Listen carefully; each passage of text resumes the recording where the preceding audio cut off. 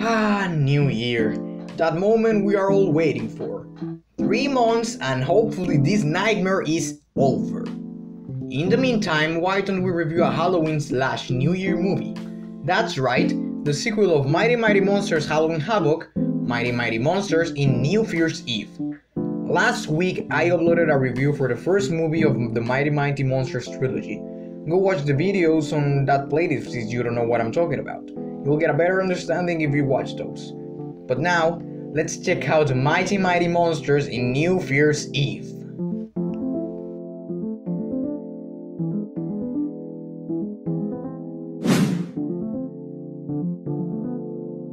The movie begins with a recap from the first film. Previously on Mighty Mighty Monsters. Then we get into the shot of the monsters walking back to Monster School because they have been invited to the New Year's party. Also, the teacher doesn't want them to cause any trouble in human school in the New Year's show. You see, the teacher has this plan of making the greatest show ever, and he even buys a weird machine to measure if people are having fun. And apparently, if it gets all the way to the top, he will become famous. With the monsters finally getting to Monster School, Edward and Jacob from Twilight don't let him in, because they need a date or something to get in. Well, Frankie enters because Candy takes his date, but Vlad and Gunner are stuck there. We get an amazing scene where Vlad dances like Michael Jackson,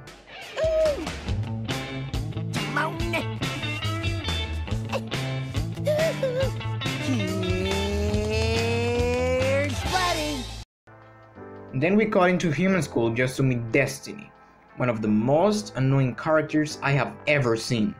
It's New Year's Eve, and I'm Destiny. And you're going to have a great time kissing oh. me. She wants to be a pop star, she wants to show off, but she sucks. Then we got back to Monster School, where Frankie gets a date for Gunner and Vlad stays outside. We get a very funny montage of Vlad trying to get in the party with his many talents, but he is unable to. The teacher calls Vlad and tells him, I need your help. Come back to Monster School and steal the show. You'll be famous. Just when Frankie got Vlad a date, he tells him to get back into school. The point is that the teacher wants to create chaos, which apparently the audience likes, so he invited the monsters over and they make a deal. If they participate, he will send them back to Monster School. They get on with the show and Frankie is instantly loved by everyone. Then he even gets a makeover which Vlad ruins.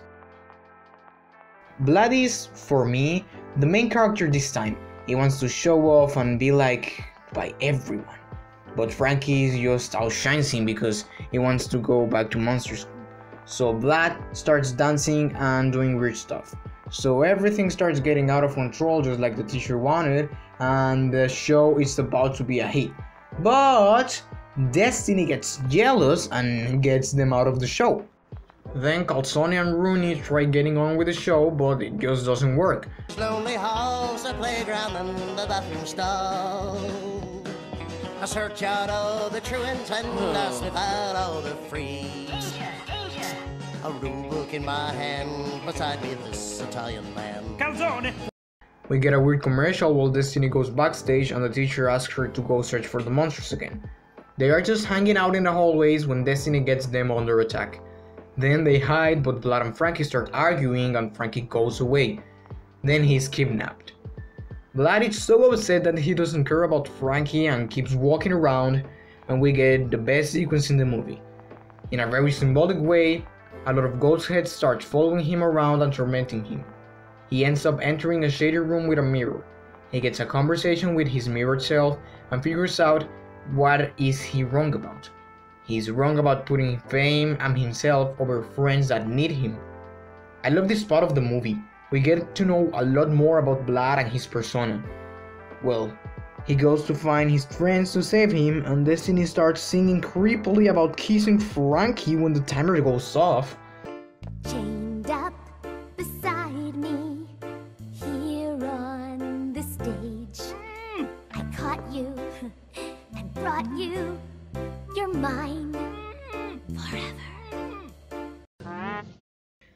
Vlad and Gunner get just in time to save Frankie, but Destiny, being the crazy weird girl that she is, goes for the kiss. Vlad jumps in an attempt to save Frankie for the fate, but he ends up kissing Destiny. And guys, I'm not joking. This next scene was one of the weirdest things I have ever seen. Vlad has this weird off-body experience where he fantasizes about destiny. Ugh, here, just look at it.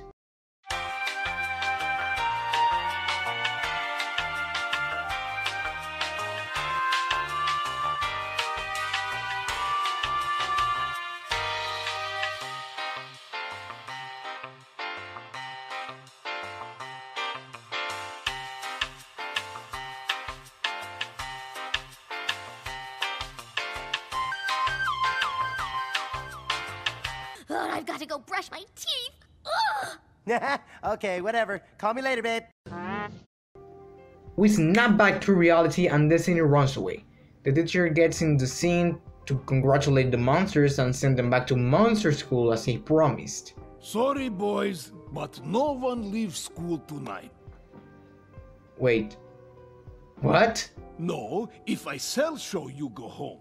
Mr. Fruity Tooty Pants here, he chase people away. show is now dead, and you stay here. Dude, you're really just. just the worst. Remember that room where Vlad hid it earlier? Well, this place is introduced to the crew and they decide to make this place their new layer.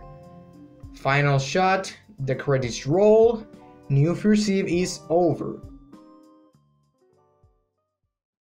Vampires rule, yes they do. Vampires rule, you know it's true. Okay, boys, do it now. 10-4. Let's see what you got, Calzone. A Pomodoro. Vampires rule, that's what I'm talking about. Ugh.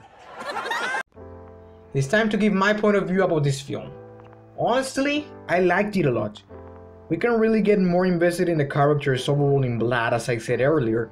That is kind of the main character in here. We see him dream, fail, learn, and evolve throughout the film. And that is something I really liked. I honestly really enjoyed that. I think the first movie is really good for setting the tone of the trilogy and introducing us to this world. And this second film really delivers in what I was expecting this trilogy to be. A bunch of explosive monsters that need to fit in human school, and without even noticing, they start learning stuff and growing as characters. The animation, I don't know why, but it felt more refined this time. We also get a lot of funny moments here too, so overall this film is really enjoyable. I don't have any idea of how the next film is going to be, but I'm hoping uh, to see something great. I really recommend watching this film. It is really hard to find, so I hope they get picked up by a streaming service sometime.